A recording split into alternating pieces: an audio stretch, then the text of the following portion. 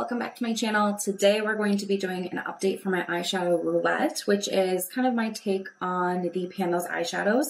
So a quick summary of what I'm doing every month. I'm randomly selecting four eyeshadows from my collection to work on throughout the month. My goal is to use each of those shades at least five times, but really there's no maximum limit. And then I come back on here and tell you about my experience and we're gonna roll in some new ones. I also, with the four ones that I'm going to roll in today, I'm gonna put them on my eyes and make a look out of them, which is the part that I'm most nervous about because I never know. It's been working out, but I never know what I'm going to get and what kind of eye look I'm going to do. So let's go ahead and begin by talking about um, the shades that I had from last month. And then we'll go into the updates, my pan percentage, all that fun stuff, and then we will roll in some new shades. So I have um, the swatches of the shades that I had in last month, very neutral based. I should say my collection is very neutral centric. I did um, get some more colorful shades in this month, which I'll show you in a second, but this is like, you know, very neutral and I'm not surprised by the shades that I have here. So let's go ahead and talk about each of these. First one, this dark brown is from the e.l.f. Bite Size Quad in Cream and Sugar, and it is the dark brown shade in here. And I was able to use this shade 11 times throughout the month, and I actually hit pan um, just a little bit of pan down there. I typically don't see pan, you know, because I'm only trying to use them at least five times. It's not, I mean, it's a goal of mine to hit pan on my eyeshadows, but it's not the primary goal of this project. But I did hit pan, um, and I did also decide then to use this pretty much exclusively as my eyeliner type shade. So how I use a shade like this is I wet a flat liner brush like this one with setting spray, and then I dig in there and I do my eyeliner. So that's why I have a very distinct kind of marking in there, but pretty exciting to hit pan. Um, the next shade on here, right here, is called Constrictor, and this is from the ColourPop That's Taupe palette. And Constrictor is at the bottom here. So it's this kind of like olivey taupey brown shade. It does have some shimmer with it. I really enjoyed using Constrictor as like an outer third of my eyelid type shade. I could use it pretty much with any color, um, just depending on how deep I want the outer corner to go. Like I could use it very lightly or I could kind of build it up if I wanted something a little bit smokier. But I really enjoyed working with this shade. The color is pretty unique, like it's a little bit different, which I like. Um, but on the eyes, it looked really beautiful, and I'm glad that I got to use, you know, this That's Taupe palette because I haven't been playing with this for the last couple months or the summertime. The next shade on here, which is kind of like a golden shade, this is a ColourPop Super Shock Shadow, and this comes from the Wild Nothing palette. This is one of my favorite spring and summer palettes, and the shade that I randomly selected is Sultan, which is right here. And you can see I do have a good dip going in there. Again, that is a Super Shock shade, so it's very like emollient and moves around the pan easily. I just use my finger to apply it. That seems to work best for me. But I really do like um, the shade. It was easy to just kind of tap on and then go out the door like with nothing else. Um, it was really nice layered on top of other cream shadows and it was really nice layered on top of dry shadows. So overall, really, really happy that I got some more use out of that one. Oh, I forgot to say, I used Constrictor, the shade from That's Taupe, six times and I used Sultan seven times. So there you go. And the last shade on my quad here is this kind of like white shade. This comes from the Soft Glam 2 palette. I love this palette. I talk about it all the time, but it's a great travel palette. And the shade I had is Tempera, which I already had pan on this one. And for this one, I used it five times, and then I decided I wasn't going to keep reaching in here because I am panning the kind of cream shade from the Bite Size Quad. I'm trying to finish this one up and I would use these in the same way. So I used it five times and then I put this shade aside so that I could focus on my Project Pan eyeshadow. Um, but Tempera is a really soft shade. I also kind of want to preserve this in this palette so that when I do travel, I have a shade like this, but I use this to set my lid, um, my eyeshadow primer.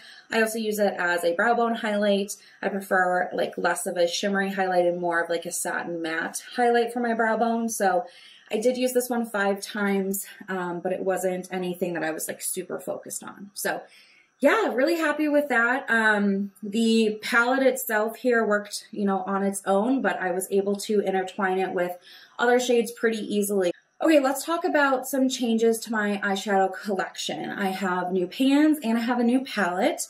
So let's start with the new palette.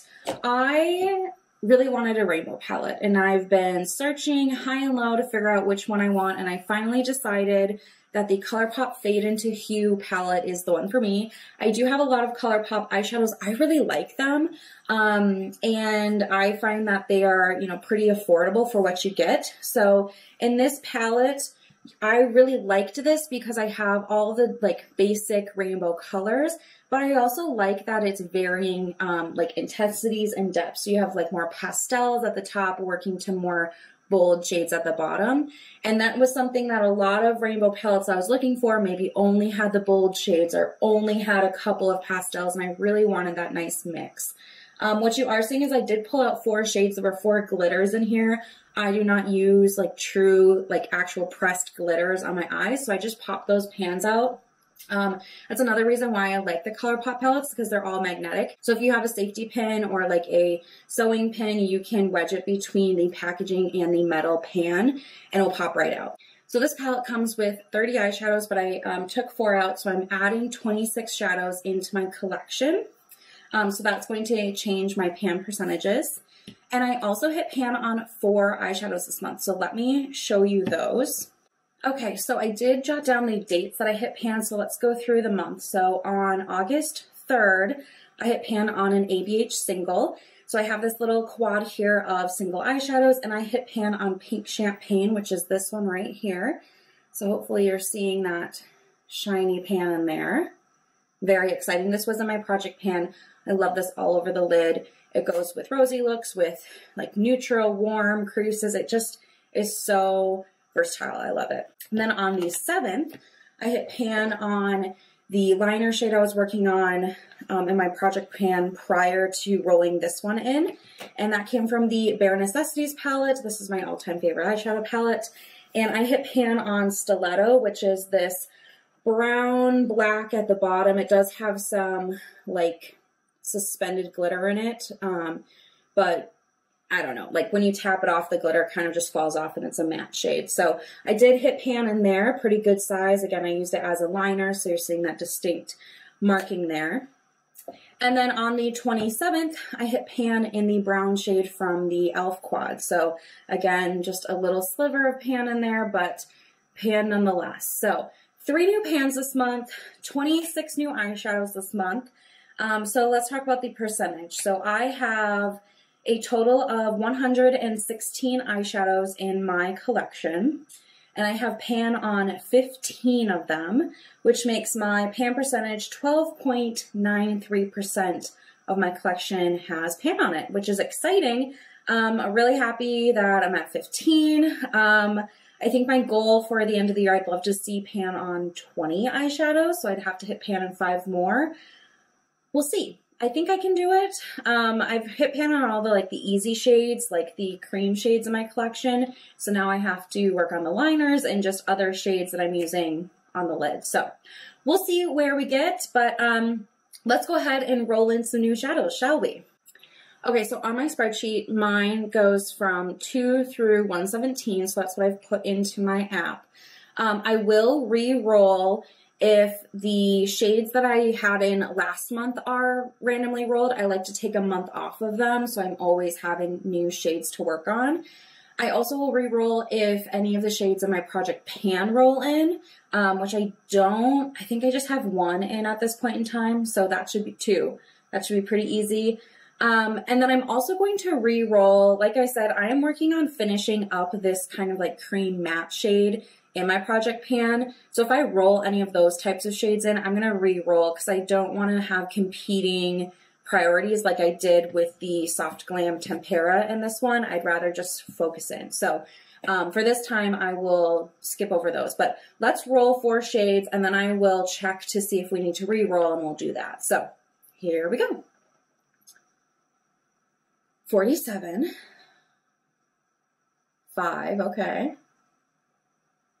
15, and 28. So give me just a second and I will check back in. All right, so all four of those shades are good. We do not need to do any re-roll. So I'm just gonna clean off my hand here and we will swatch and take a look at these shades. And then I'm gonna put all four of them on my eyeballs somehow. So the first one I rolled is 47 and that comes from my Bare Necessities palette.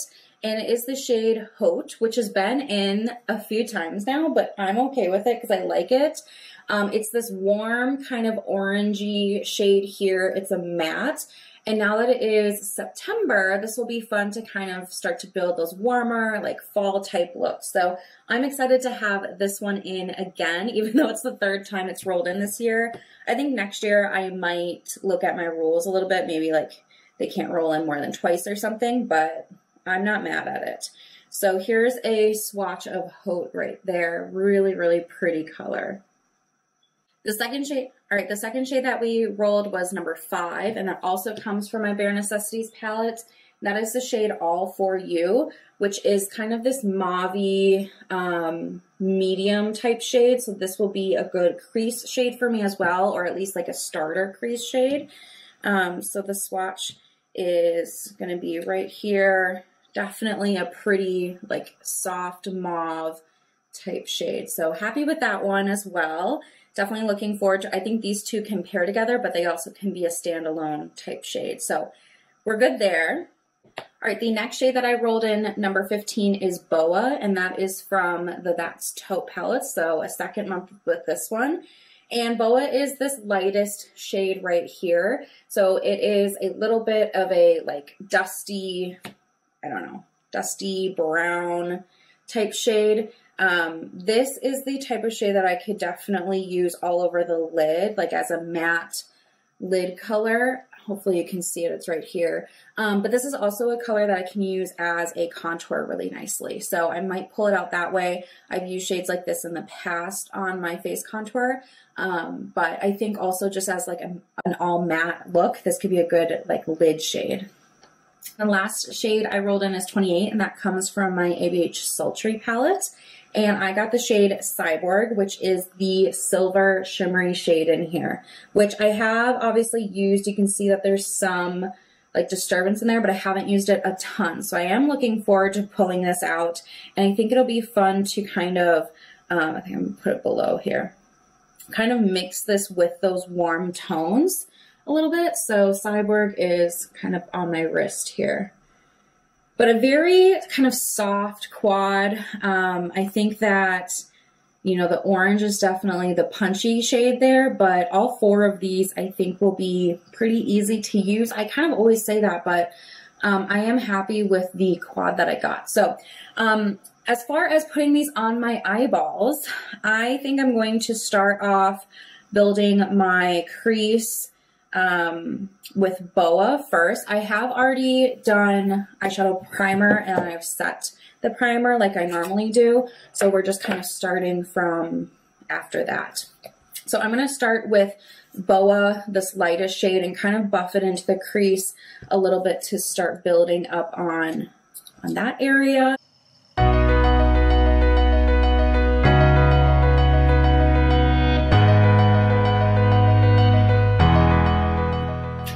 So just very lightly kind of push that into my crease. Um, the next shade I'm gonna go into is All For You, which is the more like pinky shade um, from the Bare Necessities palette. And I think I'm just gonna put that all over my crease as well.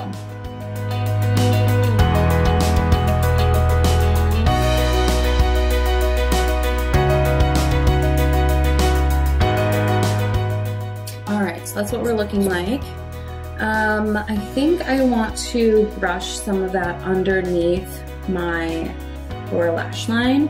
Um, so I'm gonna take a flat brush and just grab some of that all for you and buff it down there.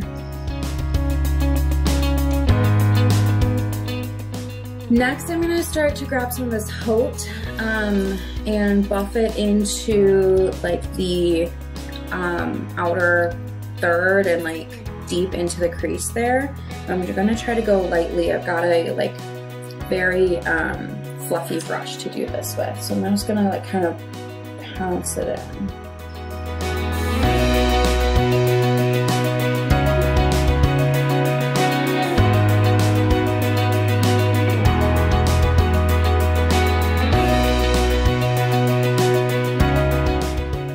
Okay, so I really tried to like stipple it into those areas and not just broadly kind of swipe because I don't want this orangey red to just take over the whole look.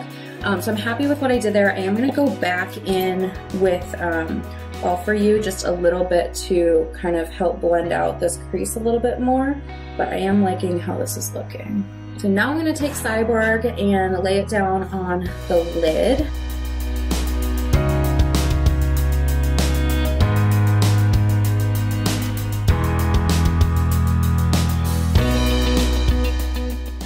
Grab a little bit of Haute and blend out where that shimmer hits um, the orangey shade.